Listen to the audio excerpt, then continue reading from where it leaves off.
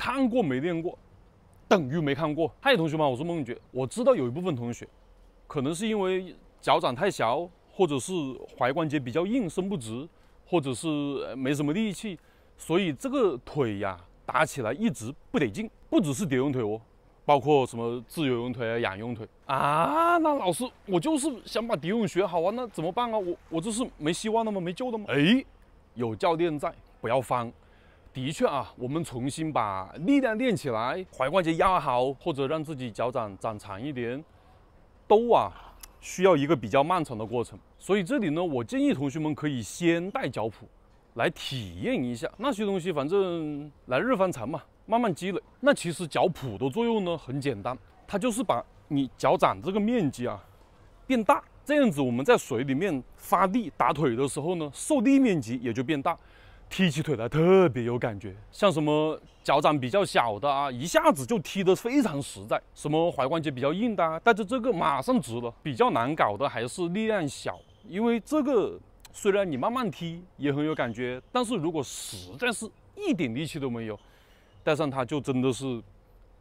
哎呀呀呀呀呀！那脚蹼在我们的蝶泳训练中起到些什么作用呢？有的同学在练习蝶泳腿的时候啊，因为一直踢的好像是空的一样，所以呢没有什么节奏可言。带上这个之后啊，一下一下的实实在在，非常有利于同学们去掌握好这个节奏。慢一点没关系，连贯且有节奏就可以了。腿有了节奏之后，就有利于什么？动作之间的配合，比如说之前讲过的拿着浮板打腿和换气的配合，波动游啊、雇佣游啊，还有我们之后要讲到的单滑手啊、轻松叠啊，大家脚蹼做起来也会非常的顺畅。简单来讲，在我们这个初学的阶段，不不只是初学的阶段，在所有的练习中带上脚蹼，你只要适应了一段时间之后，你就会感觉上天。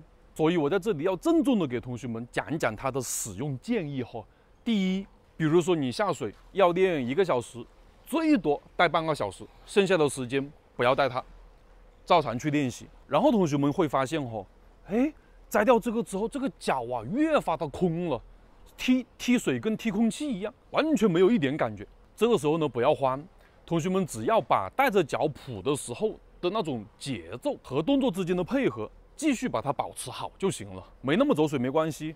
会慢慢进步的。注意啊，这里我说的是最多一半的时间。其实我建议同学们啊，只在训练的时候找不到感觉的时候，哎呀，这个动作节奏是怎么样的来着？哎，带上它，找找动作的配合，找找节奏，然后呢，果断的抛弃。它很爽，很上瘾，所以要克制，克制。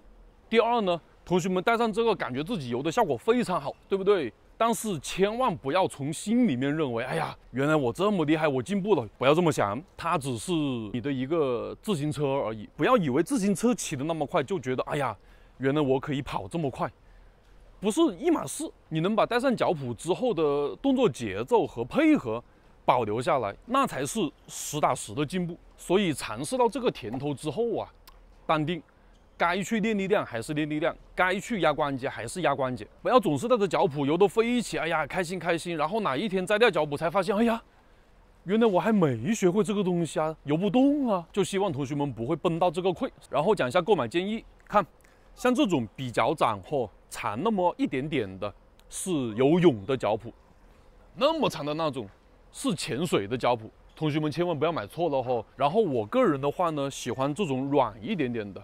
因为我之前用那种硬一些的，会把我后脚跟这里磨破皮。但是哦，它又不能太软，用力下去打腿，它会不受力，撑不起来，那就不得行。然后建议同学们不要去买杂牌了，买这种有品牌的，什么英发、飘啊、Speed、Arena、迪卡侬都可以。最后我再强调一点哈，我们以前训练中脚蹼其实用的很少的。它只是偶尔啊，用来找找动作的感觉，或者是练练冲刺，找找那个速度感，是吧？千万不要对它上瘾。嗯，那我们下个视频再见。